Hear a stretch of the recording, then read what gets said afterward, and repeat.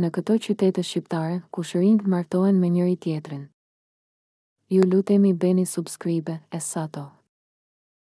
Një prind në Amerikë kishte kërkuar të martohej me fëmijën e tij, kjo kërkesë e tij ka shokuar opinionin e gjerë, duke marrë komentet më negative të mundshme nga masa e gjerë e njerëzve, pa dallim feje apo kombi.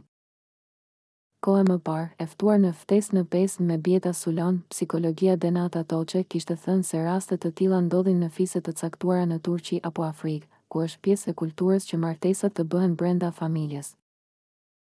Ndërkohë, në të njëjtin emision, Marsida Simo kishte zbuluar se martesa mes kushërinjsh të dytë apo të tretë ndodhin edhe në jug të Shqipërisë.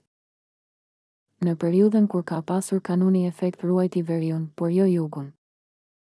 Martesat brenda familjarëve ndodhin në shumë qytete në jug të Shqipërisë si Korça, Gjirokastra etj. Kjo jo vetëm për të ruajtur pasurinë, por edhe zakonin apo kulturën e tyre, kishte thënë ajo në studio të emisionit Ftesë në pesë.